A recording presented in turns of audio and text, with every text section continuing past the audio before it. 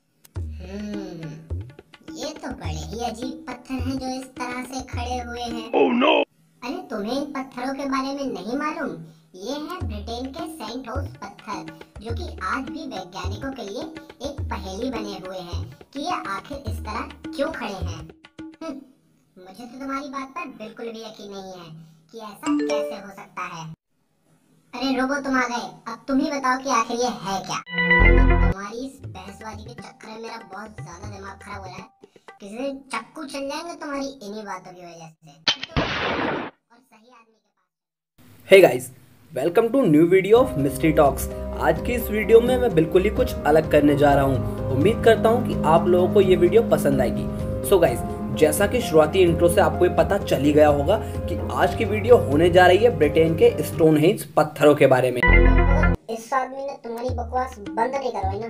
कसम से चक्कू चल जाएँगे आज कसम बात है। सो so गाइज़ आज के साइंस ने भले ही कितनी भी तरक्की क्यों ना कर ली हो लेकिन साइंस के सामने हमेशा कोई ना कोई पंगा पड़ा ही रहता है। तो उसी लिस्ट में एक पंगे का नाम है स्टोन पत्थर। एक साइंस के साथ पंगे हैं और हमारी ज़िंदगी के तुम दोनों पंगे हो। Oh no! अच्छा तुम पंगे हैं। देखो हमसे कायदे बात कर लियो नहीं तो चक्कू छोड़ के ना एक सैतालीस।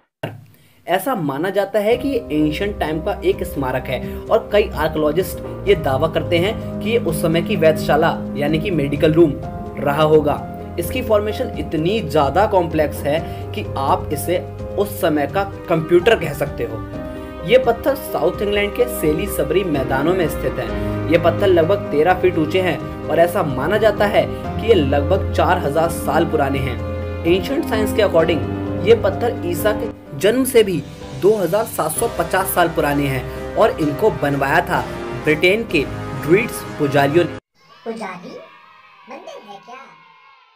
लेकिन नहीं आज का साइंस इससे बिल्कुल भी एग्री नहीं है।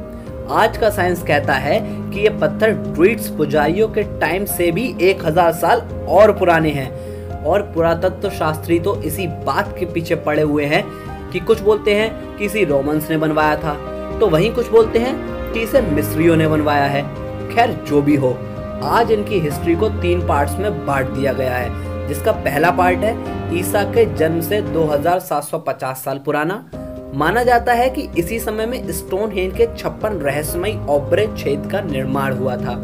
और दूसरे पार्ट में तिरासी नीले पत्थरों को मिलाकर बना बाहर वाला सर्किल, जो कि ईसा से 2000 साल पहले का माना जाता है। और तीसरे पार्ट में माना जाता है कि स्टोन हेंज के 75 सबसे बड़े बलुआ पत्थर सबसे एंड में वहाँ पर लगाए गए, जिसमें हर एक का वज़न लगभग चार टन है।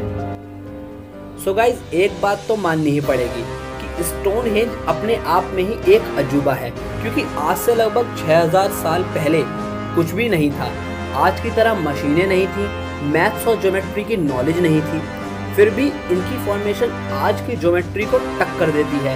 पर अगर हम एलियन रिसर्चर्स की माने तो वो तो कहते हैं कि इसको बनाने में एलियंस ने इंसान की मदद की है और इस जगह का यूज़ वो अपने